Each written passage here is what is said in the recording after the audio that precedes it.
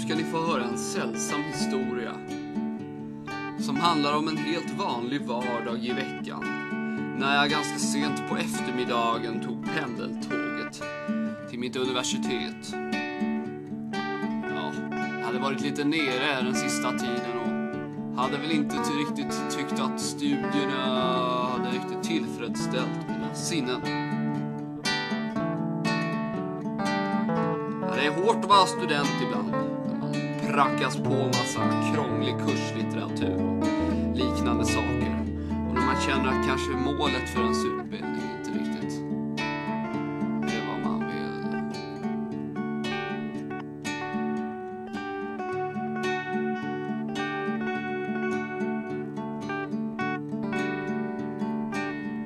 Men när som helst kan det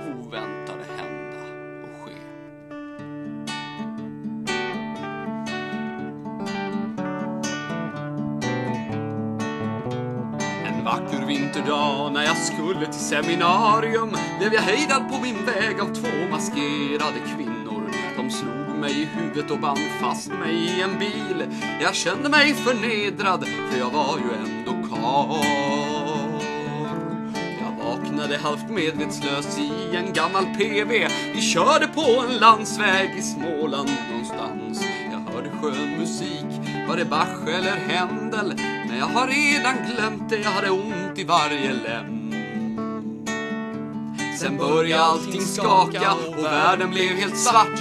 Vi tumlade runt i bilen och det blödde från min näsa. I nästa stund var allting stilla, motorn hade stannat.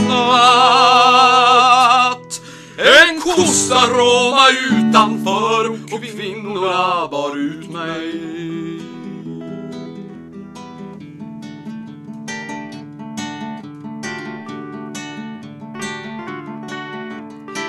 Tog drog av sig luvorna och gjorde mig fri. Jag tänkte ge mig på dem och slåss för min heder. Men flickorna var vackra och log mot hela världen. Så jag hejdade mig och följde efter dem mot en gammal man. Han till mig nyfiket på ett ålderdomligt sätt. Hans kläder och hans verktyg var allt annat än moderna. Vi trollades far, sa flickorna. Vi reste till framtiden och tog med oss en stilig man. Vad säger du om det? Jag tappade genast hakan men gubben bara skrattade och frågade om jag kunde något om lantbruk eller djur. Min kunskap på det planet var allt annat än fullständig. Men jag hjälpte till så gott jag kunde och sen var det kväll.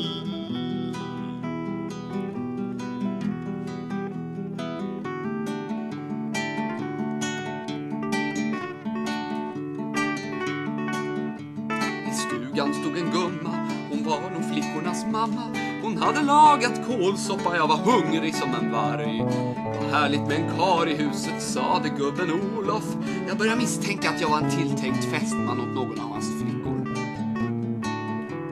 Jag ville gärna stanna och studera dessa människor och tala om den tid som var så länge sen men nutiden för dem. Ylva som gumman hette berätta om sin barndom. Och flickorna de fnissade och sjöng en fager sång.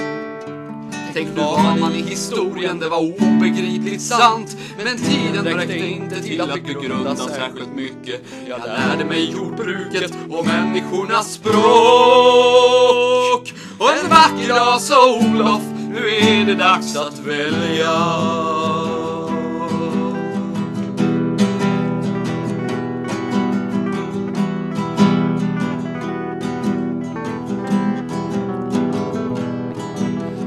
var väldigt eh, trevligt att vara, att vara i den här gamla tiden.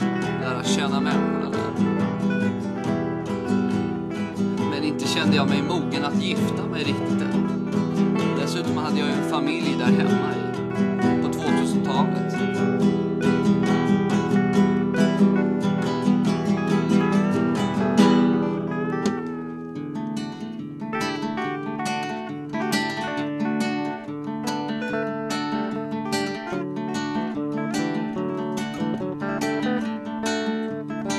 insåg vad det var som förväntades av mig och nog kunde jag väl gifta mig med någon av hans döttrar.